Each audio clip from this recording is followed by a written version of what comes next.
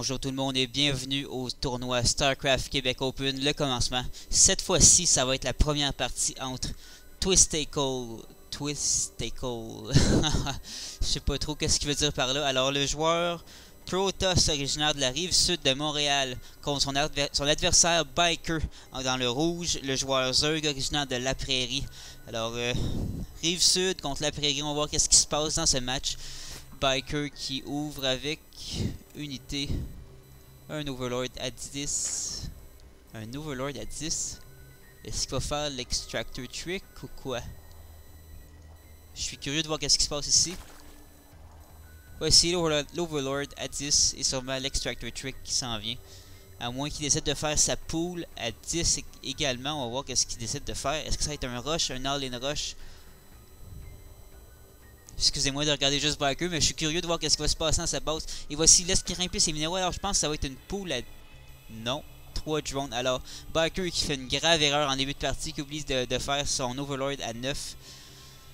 On va voir si Twist va réussir à, utiliser son avantage. Alors, désolé Biker d'avoir montré ton erreur à tout le monde aussi, évidemment. Je pensais que tu faire un petit, mot, un petit build spécial.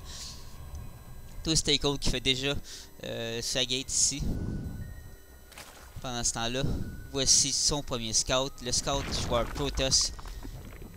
Et la poule qui a été cancellée pour être rebâtie immédiatement. Je sais pas s'il a fait un mauvais building, mais il a perdu un petit peu de minéraux en, cancellant. Alors, euh, encore une fois, Barker qui fait une, mauvaise erreur. Barker commence très mal sa première partie. On va voir s'il va réussir euh, à se reprendre en main euh, assez rapidement parce qu'il risque d'être en danger s'il continue à faire des erreurs comme ça.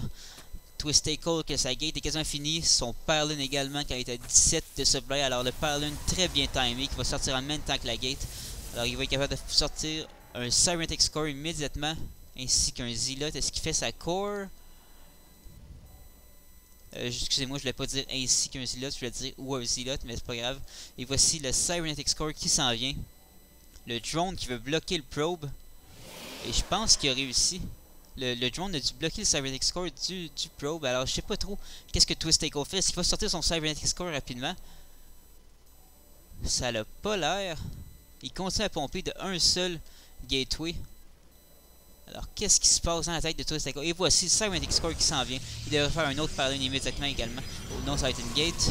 Alors, pendant ce temps-là, Biker qui fait... Euh, rien. 17 de, de, de, de supply. Il va à 19. Sa, sa queen qui est presque sortie va pouvoir faire un inject larva immédiatement.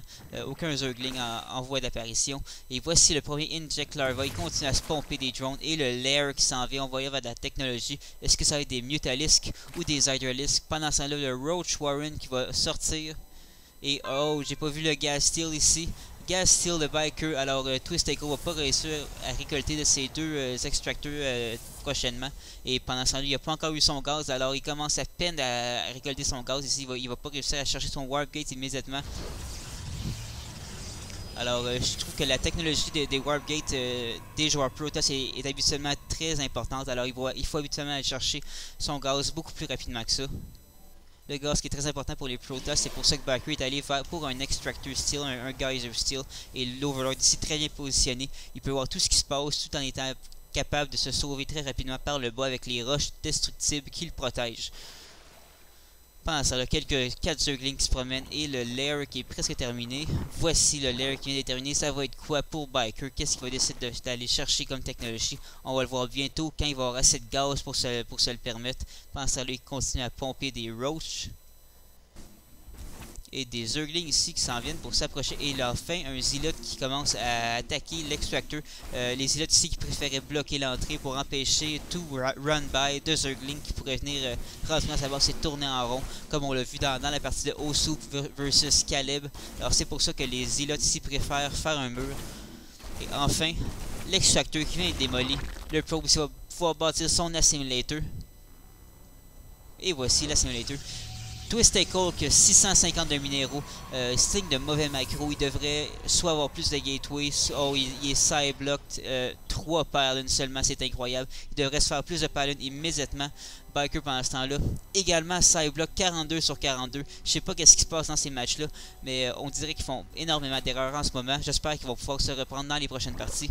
Et voici le Bailing Nest qui s'en vient. Euh, en voyant le, sûrement le grand nombre de, de de Structo Stakehold. Il va s'essayer avec un paquet de bailing et rentrer ensuite avec des, euh, des roaches. Et voici les zélotes qui se lancent à l'assaut. Ils vont peut-être se faire prendre. Est-ce qu'ils vont juste passer à côté? Et voici les Bailing qui sortent juste à temps pour s'attaquer. Oh, super bon Bailing qui vient démolir presque tous les Zealots de Twist Tackle qui est pris vraiment au dépourvu. Biker qui peut rentrer dans la base sur son adversaire immédiatement. Mais voici les Stalkers. Les Stalkers qui peuvent, faire beaucoup de micro contre les Roach. Les Roach sont pas upgradés pour leur vitesse en ce moment. Alors, euh, très important d'upgrader la vitesse des Roach pour pouvoir s'attaquer à des Stalkers. Là, il n'y a aucune chance contre ça. Et Twist qui va réussir à reprendre le dessus dans sa base, malgré le fait qu'il a perdu beaucoup de zélotes au, bailing de Biker. Biker qui réplique avec d'autres euh, d'autres Roach. Mais qu'est-ce qui se passe? Est-ce qu'on upgrade la vitesse? Et voici la vitesse qui est en train d'être... Excusez-moi, oui, la vitesse qui est en train d'être upgradée. Je vais juste vérifier si c'était bon. Et voici, je crois que c'est fait ils vont être capables de chasser les road, euh, les stalkers plus facilement. Mais cependant, ils sont en beaucoup trop petits nombres pour pouvoir faire euh, assez de dommages. Et un dernier stalker qui se fait prendre par les, par les avant de pouvoir faire le ménage et terminer les unités de joueurs Zerg. Pendant le qui lance encore trois autres Roach. Je sais pas qu'est-ce qu'il fait avec ces Roach Il va pouvoir appliquer de pression en voyant le grand nombre de stalkers de Twist Et voici Biker qui retourne vers sa base. Alors, se rendant bien compte que ça sert à rien. Et beaucoup d'Overlords qui prennent sur la carte. C'est sûrement à cause d'un Rally Point. Il devrait euh, reprendre le contrôle de ces Overlords avant de se faire assassiner par les Stalkers. Pendant ce temps-là, on voit qu'on est à 27 probes contre 19 drones. Alors, Biker qui est en manque économique, qui n'a pas saturé sa base ici comme il faut. Il devrait pomper un paquet d'autres drones. Pendant ce temps-là, Hydraless Den enfin utilise sa technologie de l'air à part pour, euh, avoir upgradé euh, sa vitesse. Et voici une expansion pour Biker. Pendant ce temps-là, oh, dangereux. Twist qui s'en vient avec son, son attaque, son 4 gate. Alors voici une attaque de 4 gate de Twist qui va rentrer dans l'action. Des Bailings sont en train de sortir, mais cette fois-là, ils vont pas arriver à temps.